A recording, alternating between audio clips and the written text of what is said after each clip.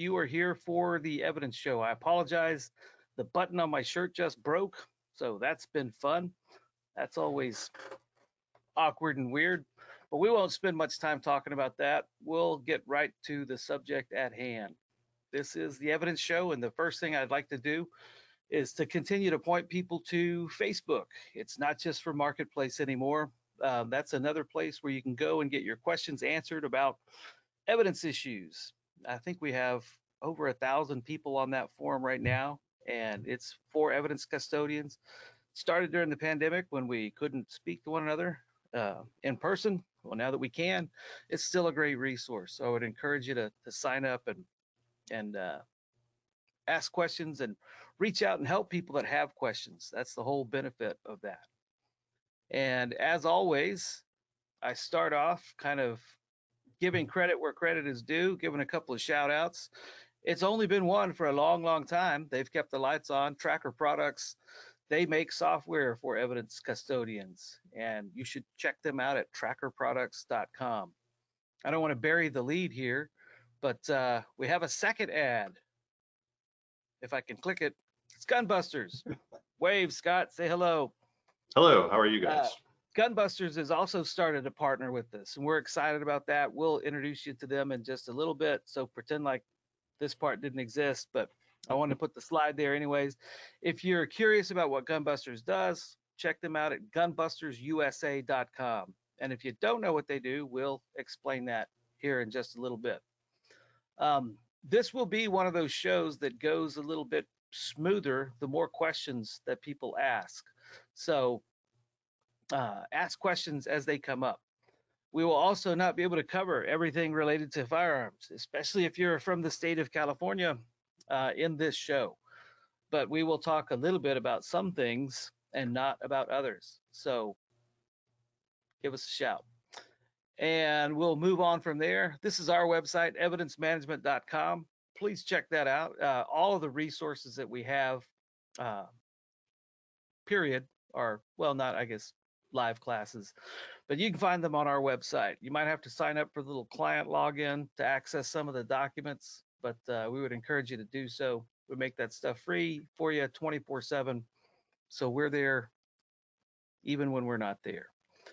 But this is episode 31 of season four of the Evidence Show, a riveting crime drama that we've been doing for the last four years. We're going to talk about breaking out the big guns today. Uh, really, more specifically, we're going to talk about breaking them up into small little pieces. And we'll also talk about other things related to guns, but we wanted a catchy title. So, what are we talking about? First thing, we'll talk about something really cool. The second thing, we're going to do some announcements, talk about some training where we're going to be. Then we'll kind of flesh out our newest training partnership. And then we'll get to the stuff about guns. But I promise you, we'll try to spend most of our time talking about guns, especially if you ask questions. Uh, so the really cool thing, it, it was cool to me, it might not be cool to you, is you know we've been at this for a while, and today we broke a thousand people that are registered for this little webinar series and community. There aren't a thousand of you here at any one time, but there are a thousand of you that get the emails, and about 300 that I get bounce backs saying that you're out of your office, which is great. It's great, but uh, you know, it was cool for me to log in and see that we've had a thousand people sign up for this thing over the last few years, and and we still uh, have people showing up like you. You just showed up today. We appreciate it. So, you know, that was something I thought was really cool. You might not, but you know, I did. Uh, if you are tuning in to find out whether or not you were awarded one of the grants from our Christmas Minor Miracle episode, well, Still not there, but we will soon. I promise. We always deliver. Sometimes it's late, but we've been on the road a lot. And by we, I mean me, because James, who is listening in the audience, is now working for Tracker as a salesperson. Call James.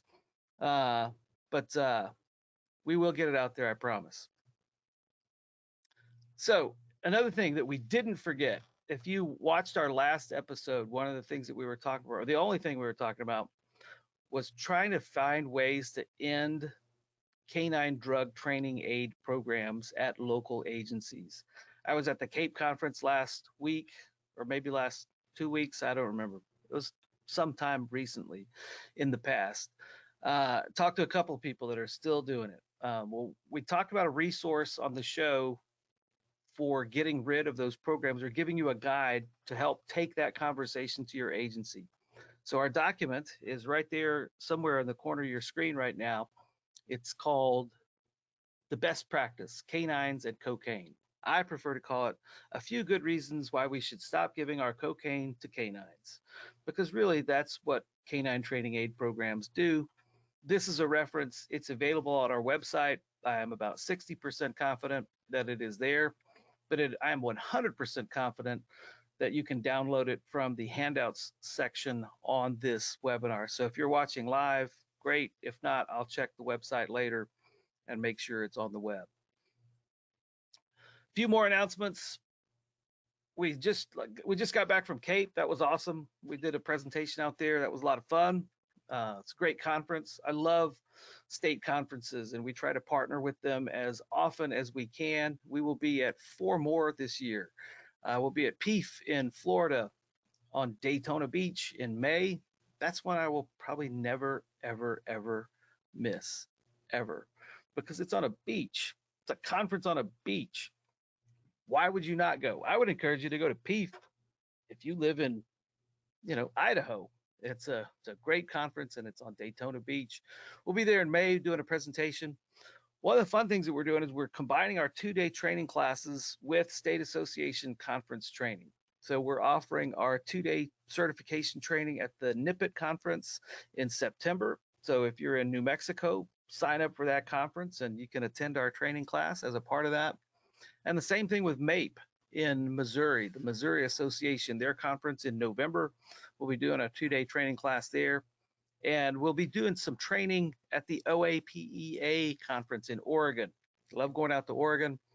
Uh, we'll also be doing another two day class out there. So, trying to get rid of the, the laundry list of catch up things. Our two day classes, standalone classes, we're going to be out in Kansas City, Missouri. We have maybe one or two more spots in that class. It's filling up really fast. We'll be there May 10th and 11th. We'll be in Greeley, Colorado, uh, July 18th and 19th. And I will be on the Big Thompson River on the 17th and the 20th. So if you want to go, we can have a fly fishing and evidence certification training all packed into one if you get there early. In fact, we should offer that, but that would be fun. We'll be in uh, the Atlanta area in Lawrenceville, Georgia, September 6th and 7th. We'll also be heading out to Miami in the early fall and back in Oregon sometime late summer, early fall. One of the cool things, oh yeah, that's no cost. We're going to skip that slide in the interest of time. But the classes don't cost you anything. You can go. The reason they don't cost you anything, this guy sitting here and Tracker Products, they are the ones that provide the training to you for free. Free doesn't mean it doesn't cost anything. It doesn't mean it's not worth anything. It means you don't have to pay for it.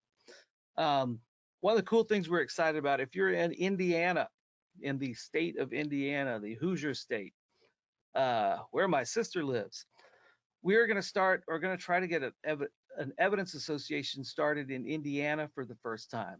Um, that uh, that class, well, actually not a class. I just lost track of time and space. May 16th at 11:30 a.m. at the Fort Wayne Police Department training facility. If you're in the state of Indiana, would love to invite you to come out and talk with us about starting an association for the state of Indiana. Um, we'll be doing that May 16th. So if you're anywhere near Fort Wayne or if you're in the state of Indiana, we would love to see you there. We'd love to have representation from across the state. I know that that's not possible all the time, but want to give you a little advance notice. Really excited about the prospect of starting a new evidence association.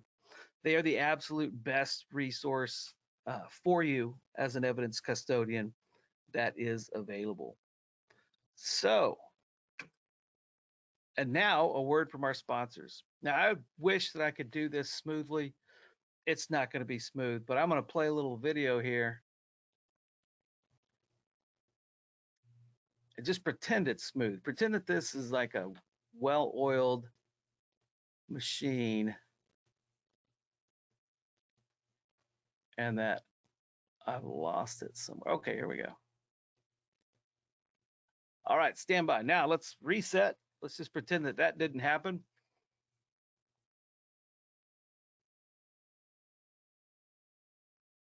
There we go.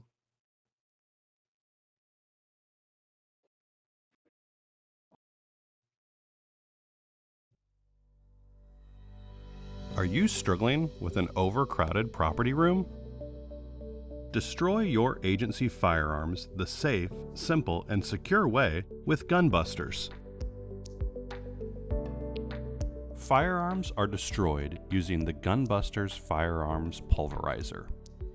Each firearm is destroyed individually and video recorded to ensure proof of destruction. Each video displays the make, model, and serial number of the firearm that is being destroyed. Your agency name and evidence or case number is also displayed. Each video captures the time and date of each firearm's full destruction. Gunbusters destruction videos are provided to the department and are searchable by serial number and agency evidence number. With the Gunbusters ATF approved destruction method and video documented proof of destruction, your department can rest assured that each firearm has been successfully destroyed. The time is now to clean out your property room with Gunbusters.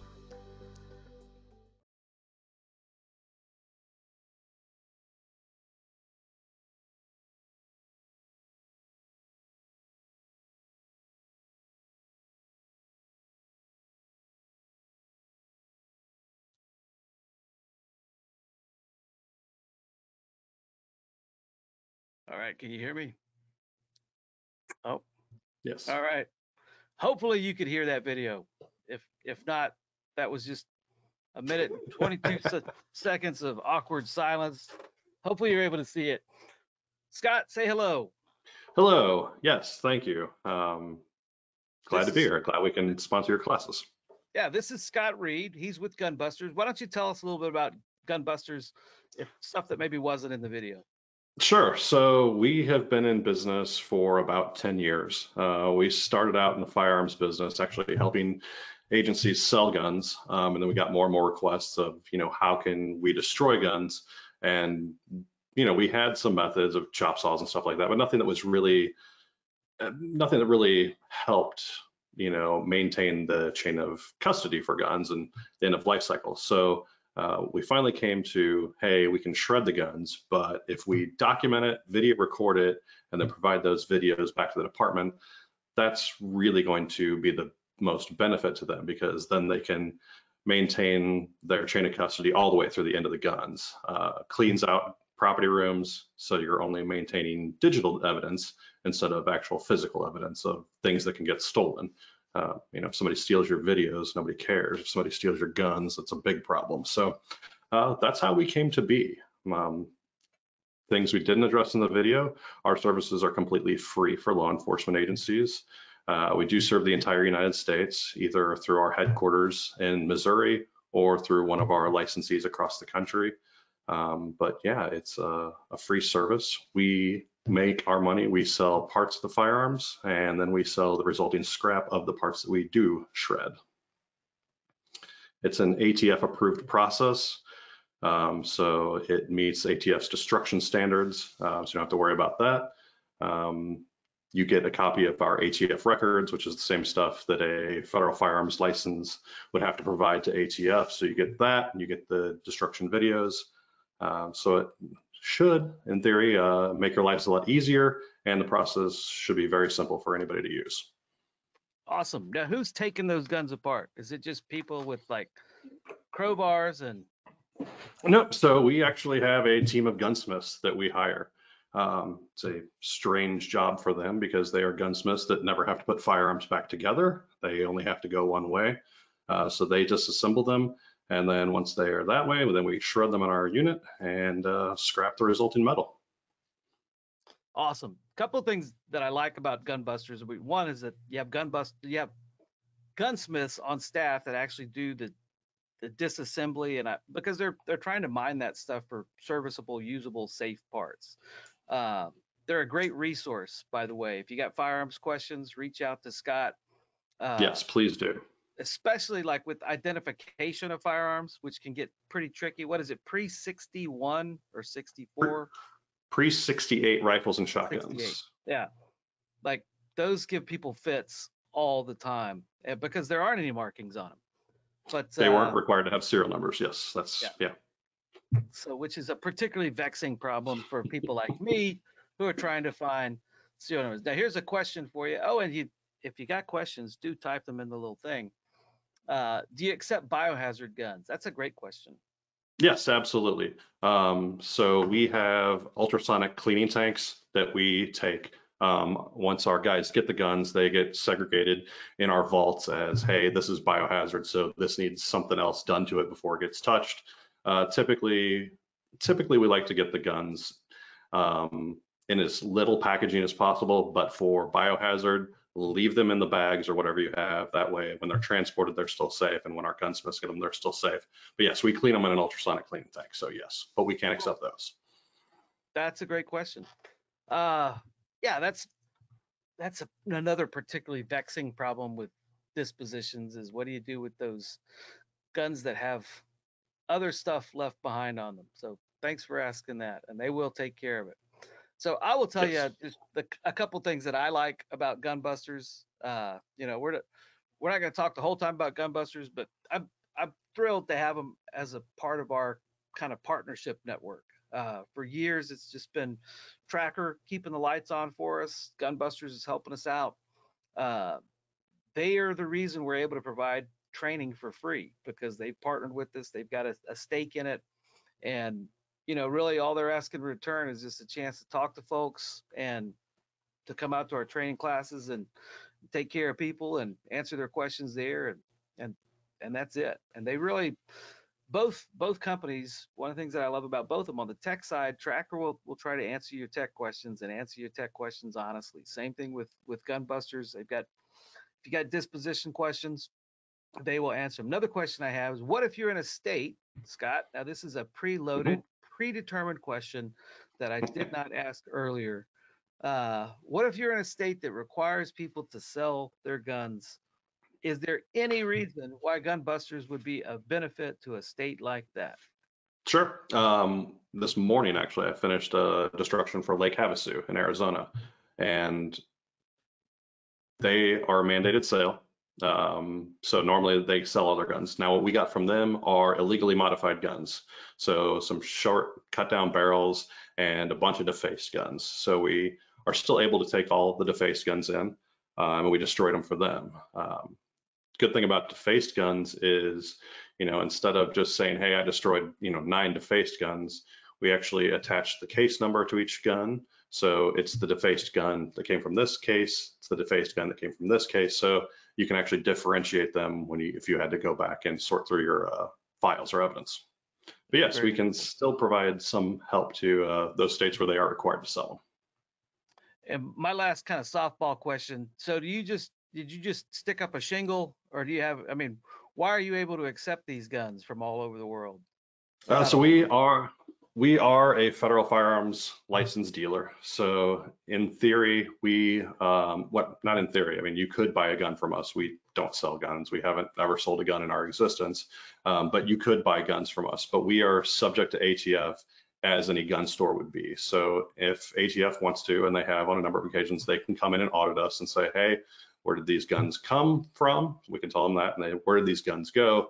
Not only can we tell them that, we can show them. So uh, yes, it's an extra layer of accountability because as federal firearms licensees holders, we are the last record holder of any firearm. So if you did run into a trace, you could say, yep, we had that gun. It came from this case. We turned it over to Gunbusters. They would call us. We can say, yes, we absolutely have this gun. Uh, we you know, destroyed it. Here's the video, it's destruction. All right. Now, this might be a record for the evidence show. We have lots of questions coming in, so I'm going to ask you a lot of questions. That's actually that cool. I, have been dreaming of a day when people would ask me this many questions, and so far there are like six questions, which in the four-year history of this show is three more questions than we've been asked before. so, do you have a minimum amount of guns that you need to have to deliver? So typically no, um, and we can do it one of two ways. Um, we can either have the firearm shipped to us, um, and you know you just call us up and we can arrange shipping, or if it's in our you know territory area, we basically arrange pickups. And so um, basically we have a guy in our office that all he does is scheduling. So if you have one gun, he'll put you on the calendar as, hey, I've got one gun, but I got an agency locally that's got, you know, 30. So he'll throw that guy together and then they'll make a loop out of it. So um, yes, you know, we can, we'll make it work from anywhere between one gun. We also work with Michigan State Police who turns over between 700 and 1,000 every month. So we can make any quantity work. All right. Next question. Does the process, ugh, I just lost the ability to read. Does the process happen at individual stations or offsite? Offsite. They happen in our location. Um, we are in St. Louis, Missouri. We have offices in Louisiana, Florida, Carolinas, Maine, and Kansas right now. But it happens at our facility where our federal firearms license is recorded. Awesome. Now, this is going to be a tricky question. It's tricky for me, anyways, because my California geography, even though we train there a couple of times a year, is horrible. How often do you pick up in the Livermore, California area? I'm gonna have to Google. Um, so we would actually have those firearms shipped to us. Uh, we work with a representative group out there, um, but basically, if you email our office, we would contact our guys in California, and they would come out, uh, make sure it helped find out what you have. They would help pack the guns up and ship them out to us. So we don't have a regular schedule out in Livermore, um, but anytime that you're ready to go, I say, whenever you have enough guns that you're happy with getting rid of them, call us and we can make it happen. And so they come out to the site and then they ship them back to you. Exactly. Yes, we have one of our guys. If if the agency wants them, um, we'll have a guy that comes out, helps them do the inventory and do the packing, and then we'll arrange for freight line ship back to us. Okay. Once the guns are shipped to us, we receive them. We do another inventory, uh, verify with the department what we re- what we're supposed to receive is what we received. All right. I think that answers the next question. So I'm going to skip that one. And Don, who's a longtime listener, uh, do you have any, or watcher rather, do you have any accounts in Jersey? Do you have anybody? in the yes. Okay. Yep. So um, our licensee up in Maine will serve New Jersey as well. Um, so Mac Mac Wynn is our licensee up there. Uh, he services the Northeast corridor. Um, so yes, you can contact our office and I can give you his information, or it's also on our website. Awesome. Man, lots of questions. Dad gum. Never had this many questions. I'm in Washington. I presume state. Do I have to send to you from an FFL or can do can agencies ship direct?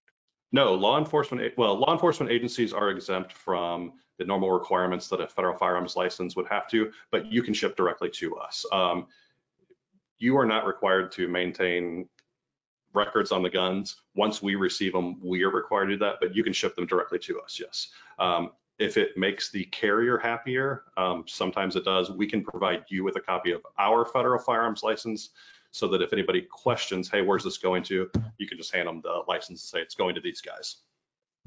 Very cool. What's the turnaround from pickup to availability of the destruction video? it depends on how many guns that we get. Um, right now, I've got about 2,500 in inventory, so I'm running probably about 60 to 75 days. Um, but we try and keep it within like a two to three month time frame um, because you know it's worrying when you send guns out the door and you don't know what has happened to them. Uh, the good thing is, is we do first in, first out. So if you ever had a question like, "Hey, where am I in line?" You can call us and I can say, "Hey, I've got 25 guns ahead of you, or I've got 250 guns ahead of you," because um, we, you know, we can track them all the way through the process. Very cool. And I got lots of help with my California geography. Thank you, James and Anna. Livermore is in the Bay Area, for those of you wondering. And let's see. So that was asked and answered. Here's a good question Who pays the shipping? We do. It is completely free to the agency. We pay for the shipping materials and we pay for the shipping itself. So basically, what you do is we have an Excel spreadsheet that says, hey, please list out your guns, make, model, serial number, your agency number. uh, the, send that to the guys in our office. They'll look at it and say, hey, it's X number of long guns, X number of handguns. They're going to need this size box. They arrange drop shipment of the packing materials to your agency. Uh, you pack them up, wrap it up, say, hey, I've got the guns shipped. We arrange for a truck line to come pick them up from your agency, and then they come to us. So it does not cost the agency anything. Awesome. No cost is good cost for police departments. That's right. Uh, doesn't mean it doesn't cost anything. Uh, let's see. Here's a question that I also want to know, and I think I've already asked you this. Do you sell the Gunbusters machine? Because I would We love do to not. have one in my garage. We do not. We uh, we have our licensees uh, throughout the country. Uh, we do not sell them individually. That's a shame because I I could use one just for tearing up crap. That is, I'm gonna go visit them in St. Louis. You They can come are- play with you can come play with ours in St. Louis. I do. I love to destroy things. So I'm so very much looking forward to that. And I think the, the question has already been answered. Do you require a manifest or any other documents? Yes, absolutely. Yes. You know, they they they need to know as specifically what you're giving them, just as you need to know specifically as to what they've been given. And those are both reconciled out. Yep. Uh, okay. And we actually have question. a manifest that we can send out to any of the departments that need it. Here's a good, great question from Victory. Hello, Victory. Uh, in Florida, they've got a statute that requires police departments to turn firearms for destruction over to the sheriff's office. Um, yes. How does that work in Florida? Um, so I will tell you that uh, there are some agencies that will still turn them directly over to our licensee down there. Um, but basically, what our licensee down there does is he works directly with uh, sheriff's departments. Um, it's similar to Michigan, who we work with. In Michigan, all all law enforcement agencies, uh, police departments, and sheriff's uh, sheriff's uh, offices turn their firearms over to state police, and state police has to deal with the disposal and destruction. That's how it's supposed to work in Florida as well. I know there's one-offs and things, but in in Florida, uh, Jim, who's our licensee down there, and his guys work with sheriff's office to make sure they get those destructions done. Very cool. Do you accept all types of firearms? Mm, Yes. So um, we have a couple of variances that allow us to accept defaced guns, um, which usually uh, licensees are typically it's illegal for anyone to possess. Uh, we possess them for destruction only. ATF gives us a variance that says we have seven days from receipt of the firearm to destroy defaced guns. So that's how we do it. Uh, same thing with illegally modified guns, uh, cut down barrels, uh, converted to full auto guns. We can also accept full autos as well for destruction. Very cool. And last question, and then we'll get to the rest of the show. Uh, is Yep. the recording held on your server or ours? How long is it retained? Yes. So I have a local copy on the computer that goes with our destruction unit. Um, the videos are provided to the department on a flash drive. So if you want to take that flash drive and upload it to your servers uh, for permanent record keeping, that's fine. We also upload all of our stuff to a cloud backup. Um, so if you know we would get a flood or a fire and lost that, we could recover all of our documents. Uh, more often than not, what happens is someone leaves the property or evidence room and someone's like, I don't know what happened to these files, then we can provide a copy of, you know, here's what we have done the past three years for your department. Here's all the videos. Um, hopefully they can go to a safe place. But the most requests we get is, hey, I don't know what person before me did with this. Can you help me out? So we can.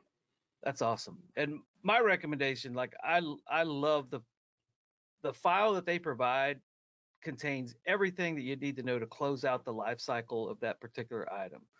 Um, well, I've, So the file, the, the the lead, file yeah. name is actually the serial number of the gun. So it makes it searching for a specific gun very easy. It also burns the case or evidence number in there. So if you're looking for five guns from a specific case, you can just sort them that way.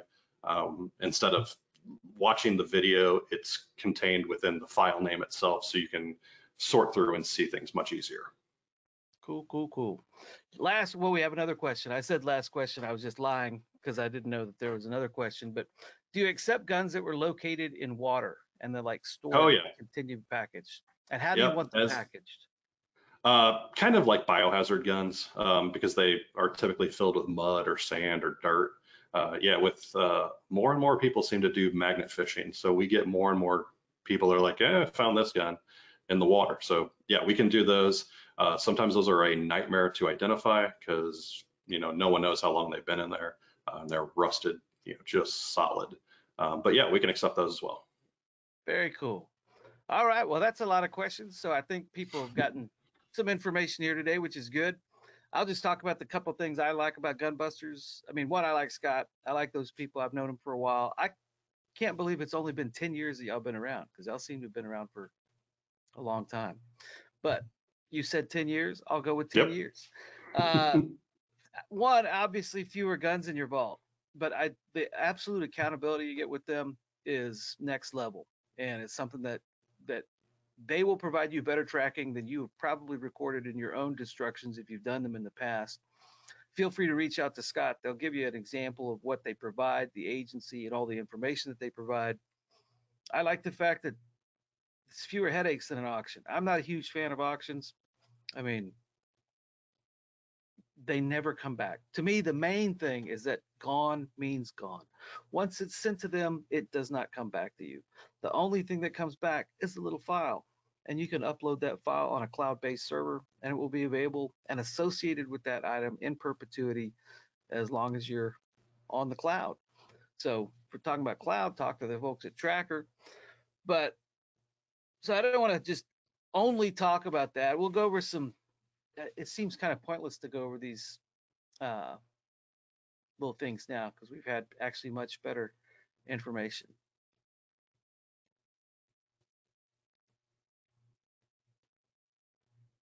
I don't, uh, Selena. I'll have to get back to that question because I I'd have to read it again. But holler at me and I will get that question specifically answered. Uh, evidence basics. You know, we teach, we preach. Evidence could be firearms evidence is one of those exceptions. We recommend submitting them unsealed. We recommend that they're submitted in visibly safe, unloaded condition. Now, Bree, who brought up the water gun question, a lot of times those guns are going to be loaded when they are submitted. You know, if you've got a gun that's recovered, especially by you know a forensic dive team, they're going to recover the gun. They're going to put it in water. They're not going to unload it. They're not going to rack the slide underwater and try to do anything with it because it doesn't work. Uh, so there can be guns that are submitted that are not visibly safe and cannot and will not be made visibly safe. But whenever it is practicable, we recommend that you do so. And also to re-verify the serial numbers. That's one of the reasons, the top reasons why we recommend that guns are submitted unsealed. You can make a business case for doing it another way. That's just what we teach. Um, and I will come back and ask. We'll do. I'll do the last questions towards the end because it's throwing me off my rhythm. So you're still getting questions. This makes me jealous and sad because you've gotten like 50 questions and I have gotten like 12, and that's four years in one day. You've gotten more questions, so that that still hurts. But we will go back and answer them. Um, here's a quiz. Which of these is visibly safe? And that one or that one? I hope you can see the screen. Otherwise, this quiz makes no sense. And really, I hope you can tell that that that's the the gun with the bullets in it. That's not visibly safe. That was more tongue in cheek. It wasn't an actual quiz. We recommend storing firearms in a manner that prevents cross contamination and oxidization. And we also recommend storing them in a manner that prevents damage to the, the or alteration to the firing pin, muzzle, or barrel interior.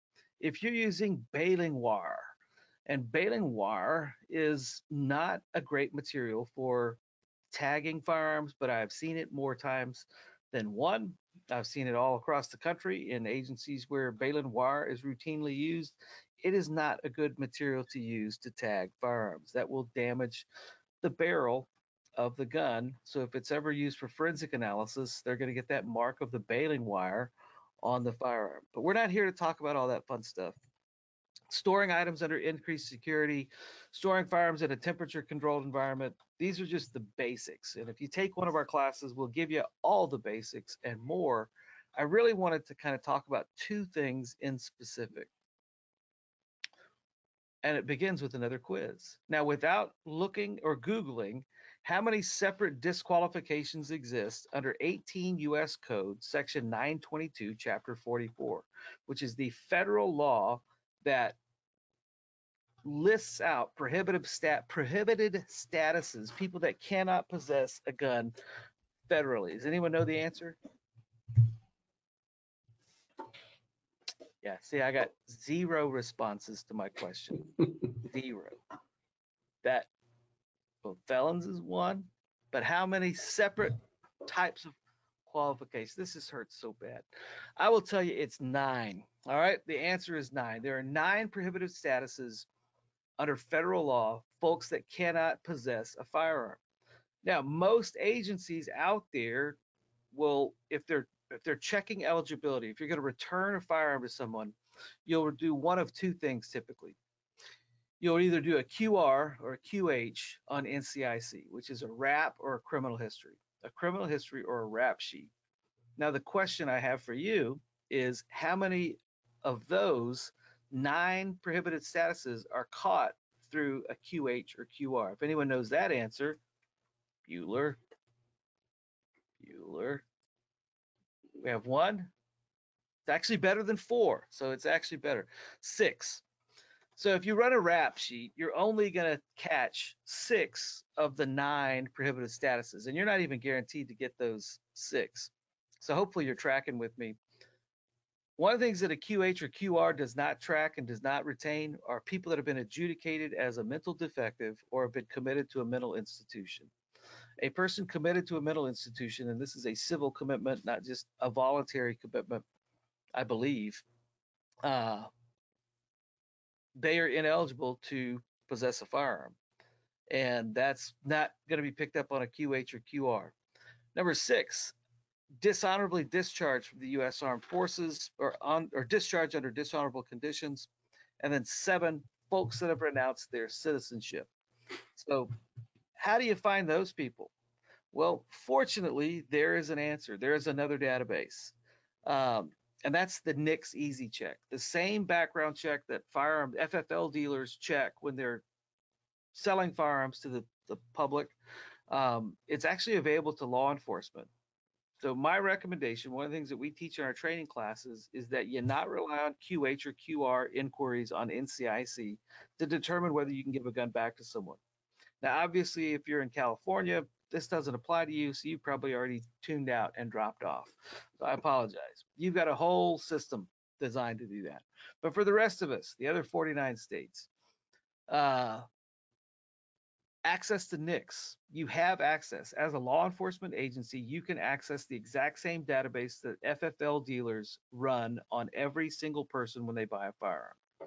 And that's the federal government's solution to determining eligibility for purchase, well, that determination is the same for receipt and return as well. You can access that through LEEP, which is the FBI CJIS portal. You can Google that LEEP, L-E-E-P, FBI, CJIS. I tried to provide the, the link, but that's the portal. They used to call it the LEO online portal. So my recommendation to agencies is use the NICS Easy Check through the LEEP portal for determining firearms eligibility. Hopefully that helped. But I can't click the little slide here. It's it's frozen. So now we're about to watch a moment of panic. All right. Another huge problem. And this is I, I typically like to provide solutions.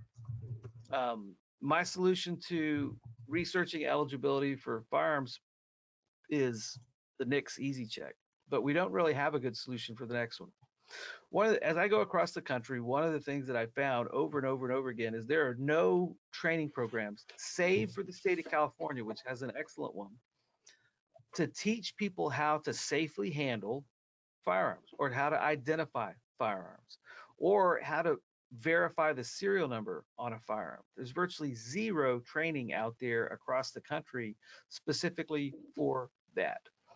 And I was at the CAPE conference uh, a couple weeks ago, and I was talking to a friend named Rose, and Rose has a cool uh, accent, and she it was we're not talking about guns, but she said you should do it yourself. So I was thinking I need to talk to Scott and we need to work on something. You know, that, that training doesn't exist, but that training needs to exist. So one of the things that, that Scott and I are going to partner on in the next few months is working on a training class that issue that addresses all of these particular issues. It'll be online and completely free, but we will teach people how to handle safely, how to handle firearms safely. We've got um, armors, we've got gunsmiths, we've got firearms instructors that can talk about these things in great detail. We'll flesh it out. We'll talk about black powder. We'll talk about rifles. We'll talk about shotguns. We'll talk about handguns. We'll talk about semiotics. We'll talk about revolvers. The whole nine yards. We're going to do this online and it'll be available to you 24 7. We'll also show you what visibly safe looks like, what it means. I realized a couple years ago when I started teaching these classes across the country that a lot of people, especially civilians, weren't grown up. They didn't grow up in Texas. They didn't grow up around guns. And if you've not grown up around guns or if you've never handled a firearm and now you find yourself in an evidence vault asked to determine whether this gun has been made safe or not, that's a hard call. Uh, and and quite honestly, it, it puts you at great risk because you're making a judgment that will impact other people's safety down the road. And you want to make sure that you're qualified to do so. So we will put this video series together. I don't think it'd be a series, it might just be one or two, but it will be an online training course that provides instruction on all four of those areas. Scott and his team are great resources for figuring out where the serial number on a gun might be or identifying a gun that is difficult to identify. So there is a halftime resource that ain't me. Uh, reach out to Scott and his team if you've got questions in the interim. But we're excited about doing this. We're going to go down to the to the uh, their facility in St. Louis and film this where it'll be well shot, well executed, and very clear and clearly lined out and delineated. Because what realize we there is no safe training resource out there for evidence custodians. It just doesn't exist. So taking Rose's advice, well, if it doesn't exist, go do it. Make it happen. So thank you, Rose. It's a great idea. We weren't talking about this, but it's applied to a lot of different things.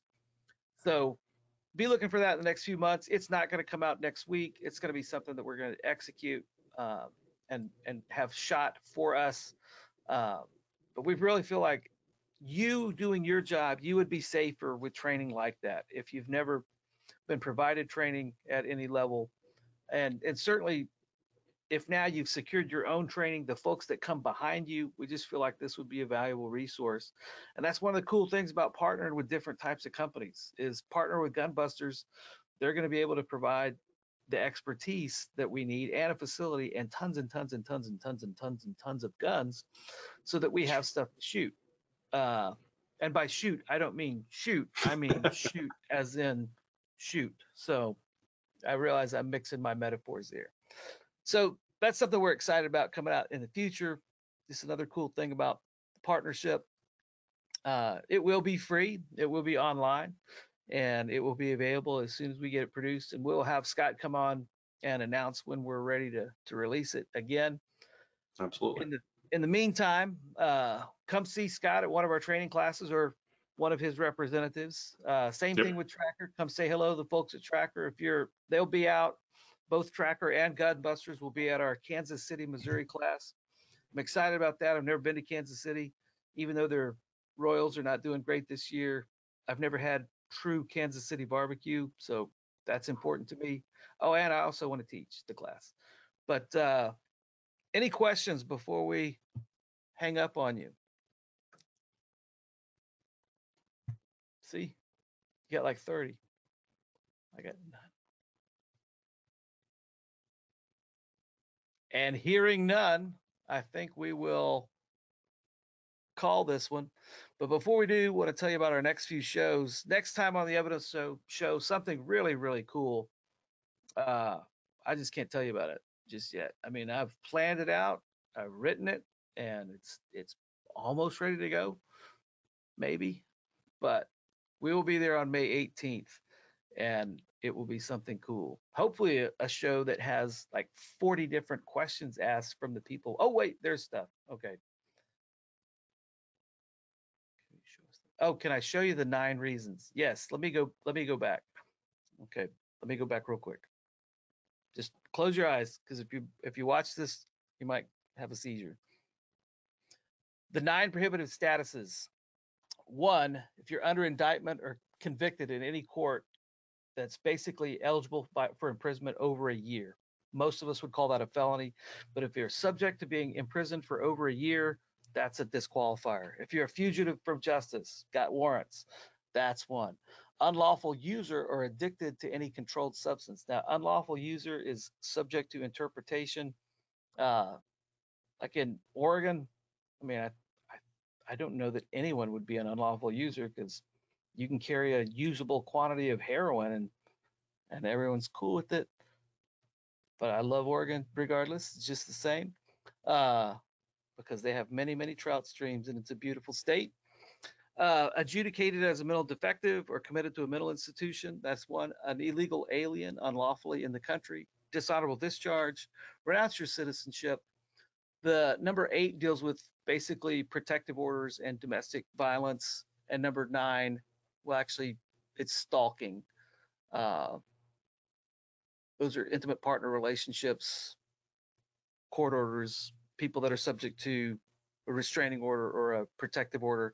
Number nine is convicted of any misdemeanor crime of, of violence. So thank you for that question because it was a question. And now I feel like I got asked a question. I feel happy about that. Beth is excited about Kansas City. Oh, answer Selena's question. Let's see. Let me go back.